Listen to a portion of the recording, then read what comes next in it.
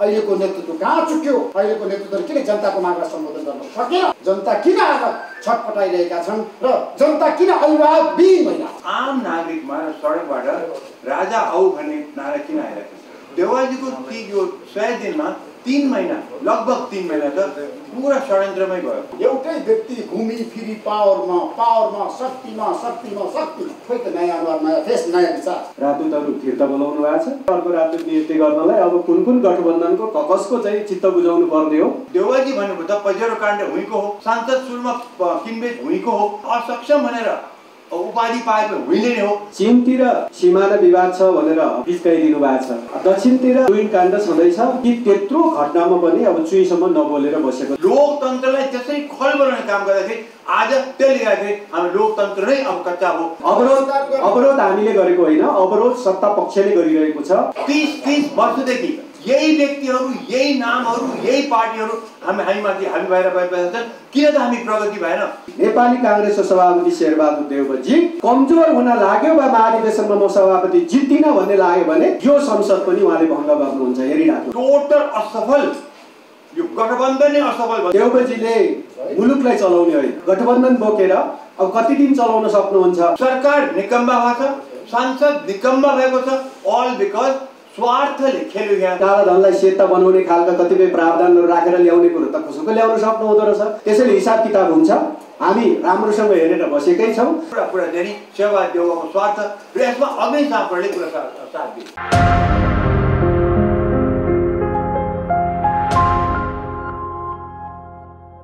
लोकतन्त्र भनेको कसैले खोज्न नसक्ने लोकतन्त्र भन्नुभएको तर अहिले लोकतन्त्र किन कमजोर के कारणले कमजोर भइरहेको छ? हाम्रो नेतृत्व कहाँ छु? लोकतन्त्रको पक्षमा छु विधिको शासनको पक्षमा छु कानुनी राज्यको पक्षमा छु अभिव्यक्ति स्वतन्त्रताको पक्षमा छु प्रेस स्वतन्त्रताको पक्षमा छु। तर अहिलेको नेतृत्व कहाँ चुक्यो? अहिलेको नेतृत्वले किन जनताको मागलाई सम्बोधन गर्न सकेन? र जनता किन निराश भइरहेका छन्? जनता किन आज छटपटाइरहेका छन्? र जनता किन अभिभावकविहीन भइरहेको छ? के कारण? त्यत्रो ठुलो क्रान्ति गरेका पार्टीहरू।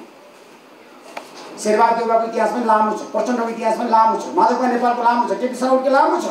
तर खोइ त उहाँले राष्ट्रिय समिति काम गरेर त्यसमा विकास प्रगतिर उन्नति गर्न सकेको। अहिलेको पुस्ता डाक्टर चन्द्र भण्डारीले। अहिले उहाँले शेरबहादुर देउवाको नेतृत्वलाई स्वीकार्नुको विकल्पै छैन। भनेपछि कस्तो अवस्थामा छ त हाम्रो देश? माओवादी केन्द्रको नेतृत्व गरिरहनु भएको छ। वीरनाथ शर्माजी यहाँ हुनुहुन्छ। कुन अवस्थामा हामी? एउटै व्यक्ति घुमी फिरी पावरमा पावरमा शक्तिमा शक्तिमा शक्तिमा खोइ त नयाँ अनुहार नयाँ फेस नयाँ विचार। हामी कहाँ चुकिरहेको छौँ? केपी शर्मा ओली। लगातार हामीले उहाँको पनि समाचार दुई हजार अडचालिस सालदेखि लेखिरहेको छौँ। उहाँ पनि लगातार पावरमा त्यसैले आजको विषयको वस्तु विषयवस्तु भनेको शेरबहादुर देउवाको नेतृत्व सरकारको चुनौती सम्भावना अप्ठ्यारा सय दिनमा उपलब्धि। आज किन आम नागरिकमा सडकबाट राजा आऊ भन्ने नारा किन आइरहेको छ? त्यहीँबाट सुरु गरौँ यसैबाट बुझिन्छ कि चाहिँ नि हाम्रो अहिलेको यो सिस्टम र व्यवस्था र अहिलेका रा जुन गठबन्धनका नेताहरू इन्क्लुडिङ पहिलेका जुन प्रधानमन्त्री ओली हुनुहुन्छ यी सबैहरू सबैजना फेल भएको त पक्का बुझ्छु। नत्र भने आजको दिनमा राजा आऊ भन्ने नारा चाहिँ सडकमा उठ्यो आउन नपर्ने थियो। आएको छ र त्यो आवाज झन् झन् बढ्दै गइरहेको छ बलियो हिसाब बढ्दै गइरहेको छ। अब यहाँहरू अहिले देवाकै कुरा गएको हुनाले ऋषिजीले त्यही नै भन्नुभएको म त्यसबाट सुरु गर्छु। देवाजीको ती यो सय दिनमा तिन महिना लगभग तिन महिना त पुरा षड्यन्त्रमै गयो काम पटकेको भएन किन मन्त्रालयमा मन्त्री नै थिएनन् काम कसरी हुन्छ? सो मन्त्रालयमा नो वर्क कामै भएन। उहाँ आफ्नो समय खालि षड्यन्त्रमा बिताउनु कस्तो षड्यन्त्र भनेदेखि त्यो गठबन्धनभित्रबाट माधव नेपाल खेमालाई कसरी भित्र पसार्ने? त्यसको लागि उहाँ कहिले सुप्रिम कोर्टको आदेशमा पर्खिनुभयो कहिले फुटेर कहिले निश्चित भने त्यो पर्यो र उहाँले माधव नेपालको लागि सबै आफ्नो सती नै जस्तो देखियो र आखिरमा गएर माधव नेपाल खेमालाई भित्राउनुको लागि उहाँले चाहिँ त्यत्रो सुप्रिम कोर्टले भ्युजाएको संसदलाई चाहिँ उहाँले चाहिँ बाइपास गरिदिनु अध्यादेशबाट ट्वेन्टी पर्सेन्टमा झारिदिनु भयो तपाईँ बुझ्नुभयो ट्वेन्टी पर्सेन्ट भनेर के हो? यस्तो लोकतन्त्रलाई कमजोर र अस्तव्यस्त अवस्थामा पुऱ्याइदिनु भयो त्यसको लगत्तै माधव नेपाल खेमा फुटेर आउने बित्तिकै उनले वैधानिकता पाउने बित्तिकै इलेक्सन कमिसनबाट तत्कालै चाहिँ फेरि त्यो अध्यादेश फर्काइदिनु भयो संसदबाट भने यो यो कस्तो कस्तो षड्यन्त्र हो? यो यसले त मुलुक त कता पुग्न आयो।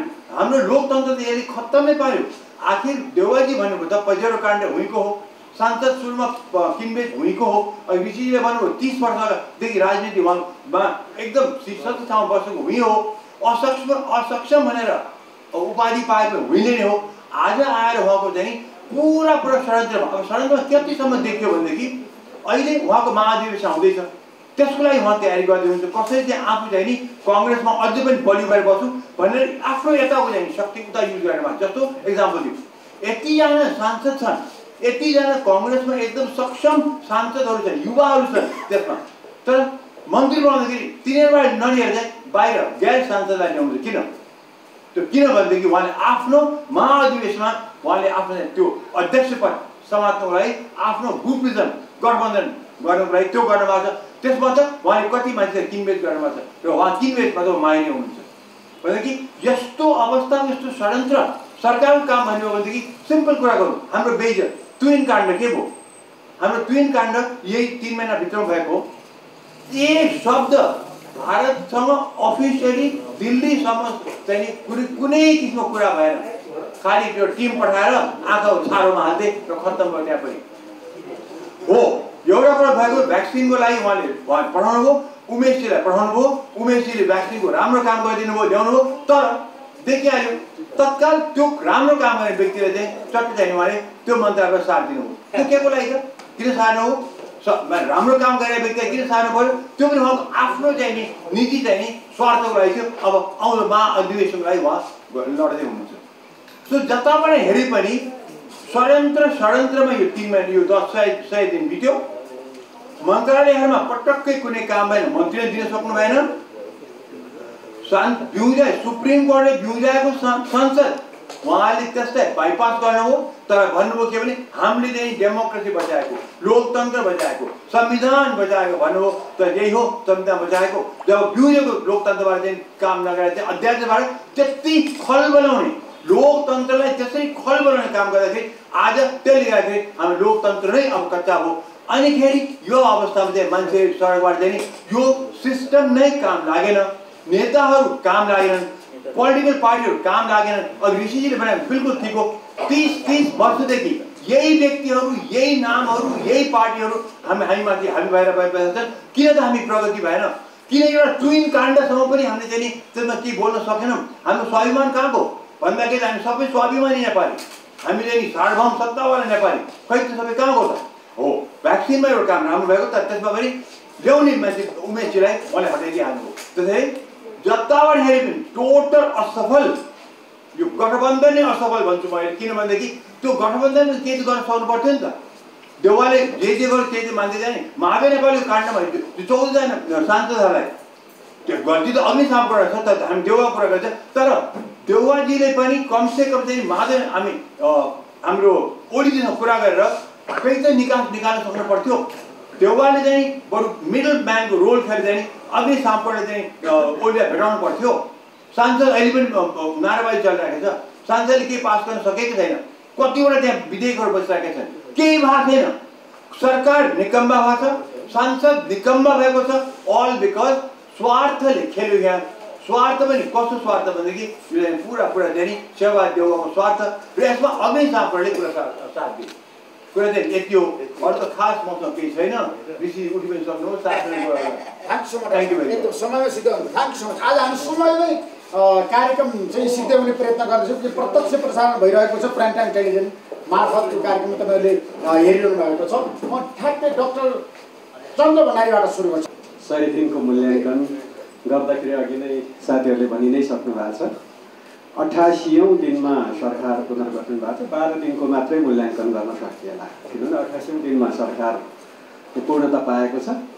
सय दिनभन्दा बाह्र दिनको हिसाब आउला। त्यसैले बाह्र दिनमा के गर्यो होला भन्दाखेरि अब के भने अब हरेक क्षेत्रमा फेलियर छ। सुशासनको क्षेत्रमा फेलियर छ विकास निर्माणको क्षेत्रमा त अघिल्लो पूर्ववर्ती सरकारले अगाडि बढाएका विकास आयोजनाहरू रोक्नु भन्ने आदेश दिनुभएको छ रोक्नु भएको छ। त्यस पछाडि विकास निर्माणको क्षेत्रमा पनि फेलियर देखिन्छ। अब मित्र राष्ट्रहरूसँगको सम्बन्धको हिसाबले पनि खास गरी अब धेरै गतिलो चालमाला देखिएको छैन। अब पूर्ववर्ती सरकारले नियुक्ति गरेका राजदूतहरू फिर्ता बोलाउनु भएको छ। अनि त्यसपछि अर्को राजनीति नियुक्ति गर्नलाई अब कुन कुन गठबन्धनको कसको चाहिँ चित्त बुझाउनु पर्ने हो त्यहाँ त्यहीँ फेल भइसक्नु भएको छ। त्यस पछाडि अरू राष्ट्रियताको सवालमा खास गरी हामीले मित्र राष्ट्रहरूसँगको सम्बन्धमा चिनतिर सिमाना विवाद छ भनेर अब बिचकाइदिनु भएको छ। दक्षिणतिर अब ट्विन काण्ड छँदैछ कि त्यत्रो घटनामा पनि अब चुईसम्म नबोलेर बसेको छ। त्यसैले आफ्नो राष्ट्रियता र छिमेकी मित्र राष्ट्रहरूसँगको सम्बन्ध पनि राम्रोसँग गतिलो ढङ्गले अगाडि बढाउनु भएको छैन। र राष्ट्रलाई असर पार्ने एमसिसीको बारेमा पनि सरकार स्पष्ट छैन। कहिले भन्छ एघार बुँदा संशोधनको हामीले प्रस्ताव पठाएको छौँ भन्छ उहाँकै अनि परराष्ट्र मन्त्री गएर हामी संशोधन नगरिकनै पास गर्छौँ भनेर फेरि अमेरिकातिर गएर बोल्नुहुन्छ त्यसले यस्ता हरेक फिल्डमा फेल भएको छ। नम्बर त जिरो नै देखिन्छ। तर पनि कमी कुथी गऱ्यो भने दस नम्बर जति त दिन सक्छु जस्तो लाग्छ म आफै चाहिँ। म अलिक सकारात्मक ढङ्गले हेर्ने भएको हुनाले। र अब जहाँसम्म यहाँ अलिकति सिस्टमकै फेलको कुरा चाहिँ म ठान्दिनँ। होइन हामीले अव- अवरोध गरेको होइन। पार्लियामेन्ट चाहिँ हामीले पार्लियामेन्टमा जब यो सरकारले धेरै विधेयकहरू हिजो पूर्ववर्ती सरकारले अध्यादेशकै रूपमा भए पनि राम्रो विधेयकहरू लिएर आएका थियौँ। ती विधेयकहरू एकमुष्ट पार्लियामेन्ट सुरु भएको ल ठिक छ। अब त्यो चाहिँ अदालतबाट आयो। जे जे देशबाट आएको भए पनि अदालतबाट आयो। तर पनि पार्लियामेन्ट आयो। र त्यो पार्लियामेन्टको पहिलो बैठकमा त्यो बिचमा भएका सबै अध्यादेशहरू चाहिँ पहिलो बैठकमा प्रस्तुत गर्नु पर्थ्यो गर्नु भएन। प्रस्तुतै गर्नु भएन। हामीले सबै अध्यादेशहरू लिएर आउन प्रस्तुत गर भनेर हामीले भन्यौँ। त ऋषिजीको यहीँ आएर पनि हामीले धेरैचोटि भन्यौँ होला। हाम्रो पार्टी अध्यक्षले पनि अन्तर्वार्ताहरूमा धेरैचोटि भन्यौँ होला। तर सुनवाई भएन। सुनवाई नभइसके पछाडि हामीले भन्यौँ कि सामूहिक रूपमा पार्लियामेन्टमा हामीले सामूहिक आवाज उठाएका हौँ अवरोध त हामीले गरे होइन। अवरोध अवरोध हामीले गरेको होइन। अवरोध सत्ता पक्षले गरिरहेको छ कि हामीले प्रश्न भनेका छौँ नि। सत्ता पक्षले जुन ढङ्गले सत्ता पक्ष भएको छ यो सत्ता पक्ष हुनको कारणहरूको बारेमा हामी स्पष्ट हुन चाहन्छौँ। त्यसैले अहिले जसरी सरकार प्राप्त गरेको छ सरकार प्राप्त गरेको कारणहरूको बारेमा हामी स्पष्ट हुन चाहन्छौँ। र अघि नागरिक समाजका अगुवा हाम्रा आदरणीय दाइले भनिसक्नुभयो कि जुन तरिकाले नेकपा एमाले जतिको एउटा राष्ट्रको पहिलो पार्टीलाई विभाजन गर्नको लागि जुन तरिकाको एउटा अध्यादेश पार्लियामेन्ट जुन पार्लियामेन्ट चाह्यो भनेर मुद्दा हालेर पार्लियामेन्ट फिर्ता गरेका छ अनि त्यो पार्लियामेन्टको बैठक चल्दा चल्दै त्यो पार्लियामेन्टको बैठक चाहिँ अन्त्य गरेर भोलिपल्टै अनि अध्यादेश लिएर आउँछ। पार्लियामेन्ट थियो नि त ती कानुन ल्याएको भए भइहाल्थ्यो नि हामी छलफल गर्थ्यौँ होला नि। अनि त्यस पछाडि कानुन लिएर आएर चाहिँ अध्यादेश मार्फत एउटा चाहिँ दल विभाजन सम्बन्धी कानुन लिएर आउँछ दललाई विभाजन गर्छ। विभाजन गर्नु अगाडि नै हामीले केही साथीहरूलाई पार्टीको चाहिँ अनुशासन उल्लङ्घनको कारवाही गरेका हुन्छौँ। दलीय व्यवस्थामा दलका आफ्ना कानुन होला नि दललाई आफ्नो हैसियत होला नि दललाई चाहिने चाहिँ एउटा अधिकार होला नि संवैधानिक हक होला नि। तर त्यो सबैलाई कुल्चेर हामीले कारवाही गरिसकेका मान्छेहरूको शनाखत गरेर दल दर्ता भयो भनेर सुनाइन्छ। हो यो सबै विषयमा सबै विषयमा कुनै पदाधिकारीसँग बसेर अथवा कुनै दलसँग बसेर होइन हामी सत्ता पक्ष र प्रतिपक्ष भएर वार्ता गर्छौँ भनेर त भनिरहेकै छौँ नि। किन रोकिया छ त अहिले शेरबहादुर देवजीलाई? हामीले त वार्ता गर्छौँ आउनुहोस्। समाधान दिन्छौँ भनिरहेकै छौँ। त्यसैले हामी हामी सत्ता पक्ष सत्ता पक्षसँग वार्तामा बस्न तयार छौँ। त्यो सत्ता पक्ष भएर प्रधानमन्त्री आउनुहोस् कि जोसुकै आउनुहोस्। र हामी प्रतिपक्ष भएर वार्तामा बस्न तयार छौँ। र त्यही वार्ताबाट निष्कर्ष निक्लिन्छ। भएका गतिरोधहरू के के गतिरोध हुन्? त्यो सबै समाधान हुन्छ। र एउटा कुरा म स्पष्ट पार्न चाहन्छु। जहाँसम्म संसदको कुरा छ निर्वाचनको कुरा छ अब आदरणीय मित्र चन्द्र भण्डारीजीहरूले कति रोक्नुहुन्छ रोक्न सक्नुहुन्छ सक्नुहुन्न? यदि नेपाली काङ्ग्रेसको महाधिवेशनमा महाधिवेशन सम्बन्धी प्रक्रिया सुरु गर्नुभएको छ नेपाली काङ्ग्रेसको महाधि उहाँले नेतृत्व फेर्ने कुरा पनि गर्नुभयो धन्यवाद छ। यदि नेपाली काङ्ग्रेसको महाधिवेशनको प्रक्रियाहरू अगाडि बढ्दा वर्तमान प्रधानमन्त्री नेपाली काङ्ग्रेसको सभापति शेरबहादुर देवजी कमजोर हुन लाग्यो वा महाधिवेशनमा म सभापति जित्दिनँ भन्ने लाग्यो भने यो संसद पनि उहाँले भङ्ग गर्नुहुन्छ हेरिराख्नु होला। यो संसद छिटै भङ्ग गर्नुहुनेछ र छिटै अर्को निर्वाचनको घोषणा गर्न सक्छ। त्यसो भएको कारणले उहाँले कति रोक्न सक्नुहुन्छ हेरौँ। त्यसैले त्यसैले उहाँहरू चाहिँ अब देवजीले मुलुकलाई चलाउने होइन। गठबन्धन बोकेर अब कति दिन चलाउन सक्नुहुन्छ? अब टोटल फेलियर भएर मुलुकको समय बर्बाद त गर्नु हुँदैन त्यस भएर नयाँ फ्रेस म्यान्डेट त जरुरी छ। अलिअलि छलफल सबै निर्वाचनहरू स्थानीय तहको प्रदेशको सङ्घीय सरकारको सङ्घीय तहको निर्वाचन नै एकैचोटि गरौँ भन्ने छलफल अब अलि बुद्धिजीवी सर्कलमा भएको सुनिन्छ। म धेरै धन्यवाद दिन चाहन्छु उहाँहरूलाई कि वास्तवमा यो तर्फ मुलुक जान सक्यो भने पनि यसले एउटा निकास दिन्छ होला। त्यसैले अरू धेरै गाली गर्ने भन्दा मेरो त शुभकामना छ राम्रोसँग चलाओस्। अब चाडबाडको बेलामा अब किन अब धेरै भन्नु र उहाँहरू राम्रोसँग चलाओस् मुलुकलाई राम्रो बनाऊ हाम्रो त यति कुरा हो नि। त्यही भन्ने कुरालाई पार्लियामेन्टमा हामीले सामूहिक रूपमा आवाज राखेको है। र पारित गर्दाखेरि त गर्नु हुँदो रहेछ नि त एउटा त्यो के के बजेट कि के भन्ने चाहिँ? उहाँहरूले अब त्यहाँ हाम्रो अवरोध भन्दा भन्दै पारित त गर्नु हुँदो रहेछ। तर एसिड आक्रमण सम्बन्धी त्यो विधेयक किन ल्याउन सक्दैन नागरिकता विधेयक किन ल्याउन सक्दैन अनि त्यस पछाडि डक्टरहरूलाई तपाईँ चिकित्सकहरूमाथि भइरहेको ज्यादती त्यो सम्बन्धीका विधेयकहरू किन ल्याउँदैन महिला हिंसासँग सम्बन्धित कानुन चाहिँ किन ल्याउँदैन त्यो चाहिँ अवरोध भयो अरे एमालेको कारणले अवरोध भएको कारणले ल्याउन सकेन भन्छ। अनि उहाँहरूलाई चाहेको बजेट कि के भने बजेट मार्फत। अनि त्यहाँ चाहिँ कालाधनलाई सेता बनाउने खालका कतिपय प्रावधानहरू राखेर ल्याउने कुरो त कसैको ल्याउन सक्नु हुँदो रहेछ। त्यसैले हिसाब किताब हुन्छ। हामी राम्रोसँग हेरेर बसेकै छौँ। बाह्र दिनको समीक्षा म गर्दिनँ किनभने अठाइस दिन त उहाँहरूले त्यत्तिकै गुजार्नु भएको छ। अठासी दिन त्यत्तिकै गुजार्नु भएको छ। त्यसैले अठासी दिन अब बाह्र दिन सय दिनमा गर्दाखेरि बाह्र दिन मात्रै सरकारले पूर्णता पाएको हो। त्यसो भएको हुनाले उहाँहरूले कमसेकम दस नम्बर चाहिँ म दिन्छु धन्यवाद। माओवादी केन्द्रका प्रभावशाली नेता अत्यन्त सम्मानित नेता दिलनाथ शर्माजी। ठ्याक्कै शेरबहादुर देवाको नेतृत्व सरकारको राम्रो काम एक दुई तिन के के? राम्रो काम। हामीले कुनै पनि वस्तुलाई हेर्दा राम्रो र नराम्रो दुवैतिर हेर्नुपर्छ। हामीले राम्रो देख्दाखेरि जहिलेसुकै राम्रो राम्रो देख्ने।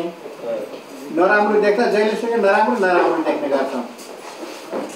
त्यसै कारणले हामी क्रिटिकल बन्नुपर्छ जनताहरू पनि क्रिटिकल बन्नुपर्छ राजनीतिक दलका नेताहरू पनि क्रिटिकल बन्नुपर्छ कार्यकर्ता पनि क्रिटिकल बन्नुपर्छ।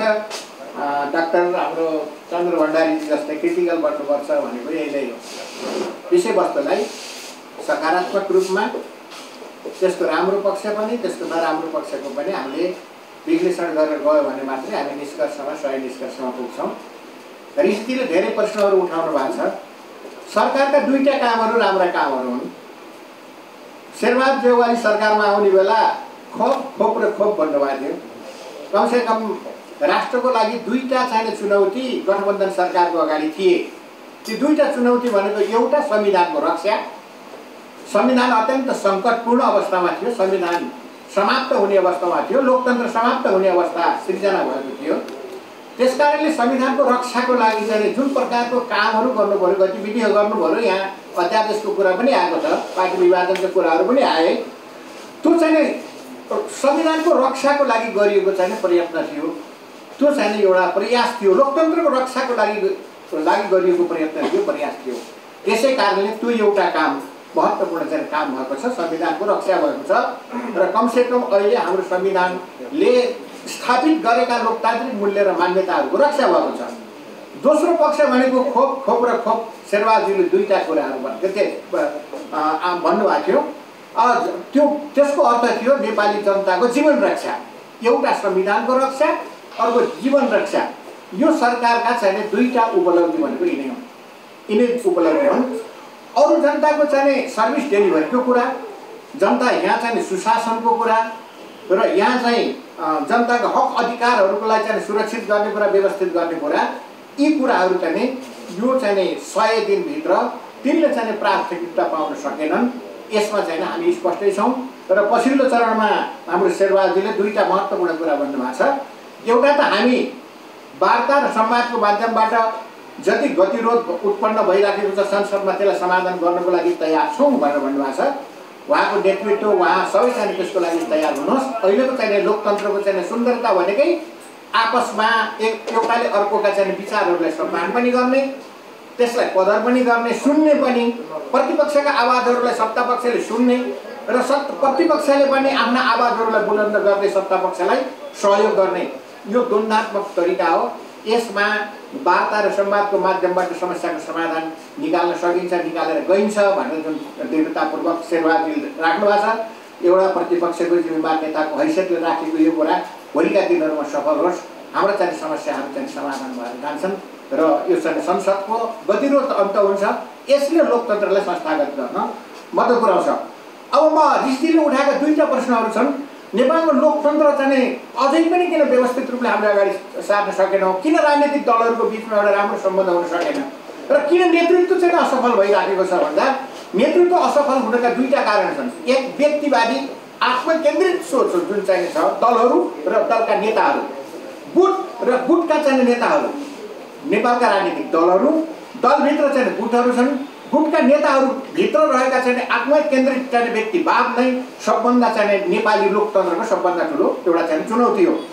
जनतालाई राष्ट्रलाई देशलाई राष्ट्रिय समस्यालाई राष्ट्रिय चाहिँ सङ्कटलाई चाहिँ हेर्नुभन्दा पनि आफ्नो दललाई आफ्नो गुटलाई आफ्नो व्यक्ति व्यक्ति विशेषलाई हेर्ने कारणले नै नेपालको चाहिँ लोकतान्त्रिक आन्दोलनमा सबभन्दा ठुलो सङ्कट पैदा हुँदै गइराखेको छ।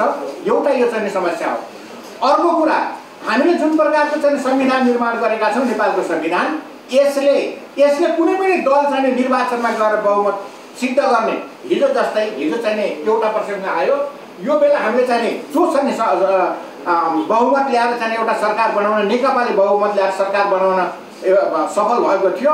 अब नेपालको चाहिँ राजनीतिमा सायद त्यस्तो किसिम हुन्छ मलाई लाग्दैन। नेपालका कुनै पनि राजनीतिक दलले बहुमत सिद्ध गर्न सक्दैनन्। हामीले त्यस प्रकारको निर्वाचन प्रणाली अर्थात् संविधान त्यो बनाएका छौँ। हाम्रो जुन चाहिँ लोकतान्त्रिक प्रणाली हो त्यो लोकतान्त्रिक प्रणालीले के माग गर्छ भन्दाखेरि सहमति र सहकार्यको चाहिँ संस्कृतिलाई विकास गर भन्छ। हामीले चाहिँ संविधान एउटा प्रकारको बनायौँ एउटा चरित्रको बनायौँ तर सहमति र सहकार्यको चाहिँ संस्कृतिलाई विकास गर्न सकेनौँ। हामीले चाहिँ निषेध गर्ने निषेधको राजनीति पार्टीभित्र निषेध दलभित्र निषेध आफ्नो साथीहरूलाई निषेध कुनै चाहिँ साथीहरूले सहकार्य हुन थाल्यो भने त्यसलाई चाहिँ कुइन्टाले घचेटेर पछाडि आउने हाम्रो नेतृत्वको निर्माण किन हुन सकेन? हामीले चाहिँ एउटा सबल नेतृत्व किन त्यसलाई चाहिँ नयाँ नेतृत्वलाई चाहिँ अगाडि सार्न सक्दैनौँ सार्न नसक्नुको चाहिँ प्रमुख र प्रधान कारण भनेको त्यो पार्टीभित्रको चाहिँ आन्तरिक लोकतन्त्र चाहिँ सुदृढ हुन नसकेका कारणले पार्टीभित्र चाहिँ लोकतन्त्र छैन। पार्टीभित्र त्यहाँ निरङ्कुशता छ। नेतातन्त्र छ गुटतन्त्र छ। नेता एउटा एउटा नेता छ त्यो नेताको वरिपरि सबै चाहिँ गुट छन्।